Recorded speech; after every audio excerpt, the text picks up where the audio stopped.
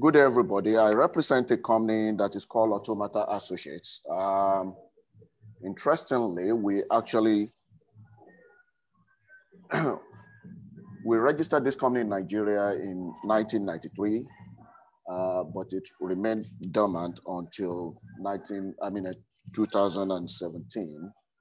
Uh, and since then, we've been in software development and we uh, we've been doing some very exciting uh, projects down here. Our flagship project or product is actually selected based on these three criteria. Uh, and those of you who are interested is what is called market creating innovation. You can see Fosa Ojomo's uh, uh, TED show, uh, which he presented in June 2019. That may guide you.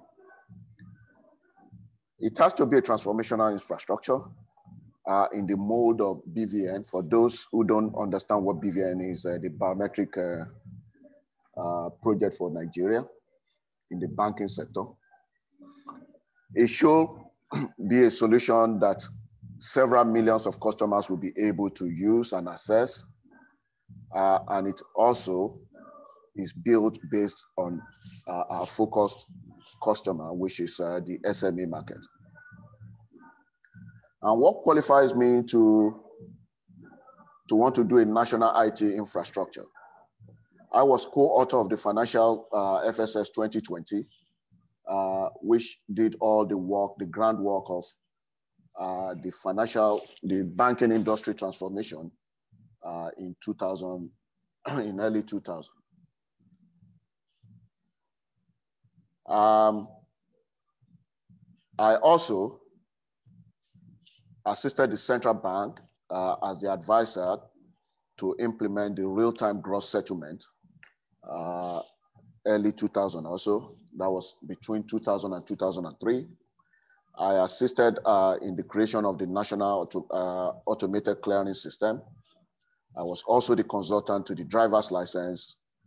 Uh, and I was the consultant and project director on the BVN project for the banking industry in Nigeria.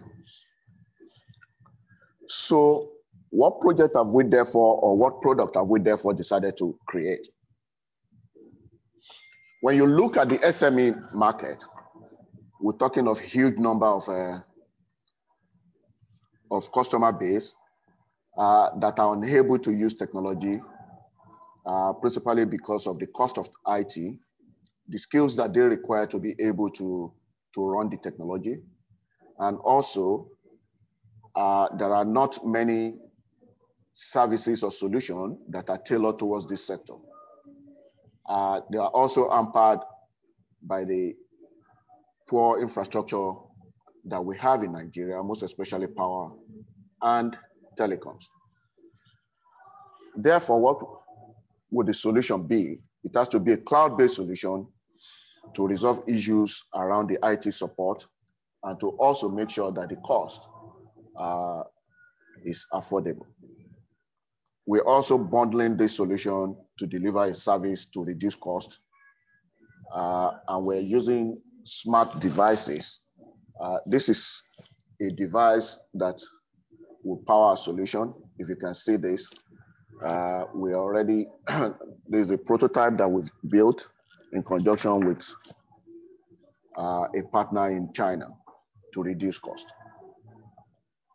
We're also talking to two partners so that they can provide the bundle power and the power will just be a data pack, uh, a data bank that can uh, power this device, maybe two or three of them for up to 10, between 10 and 12 hours uh, and we're also talking to the telecoms industry so that they can uh, we can bundle their product in uh, for the for the data that is required for the solution to work. Our solution is called Business Cloud. Uh, it's principally just an ERP, but that has been re-engineered completely, uh, not only into uh, the cloud environment, but also to support our device. There are two types of device. Uh, this is the one that we believe most of the users are going to use. And for those who have um, uh, shops and uh, uh, we've presented uh, another type of device, which is a bit bulky. That's why I didn't bring it here today.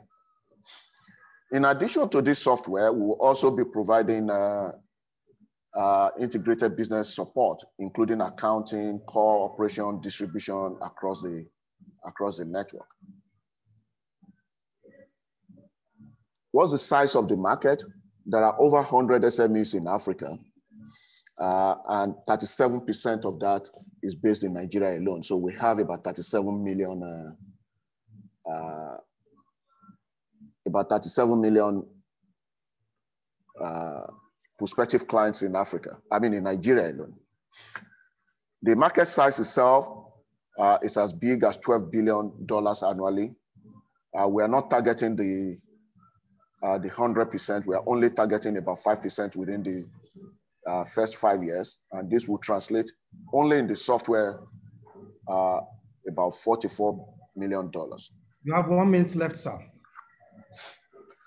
This is our target revenue model. What are we seeking? We're asking for $5 million to help us complete the product development. We're about 75, 80% done. Uh, we need to set up our support and marketing infrastructure.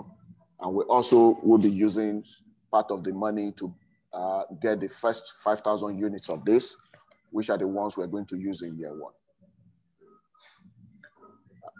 We believe that we'll be able to get 75% uh, ROI for our investors uh, within the first five years. Thank you.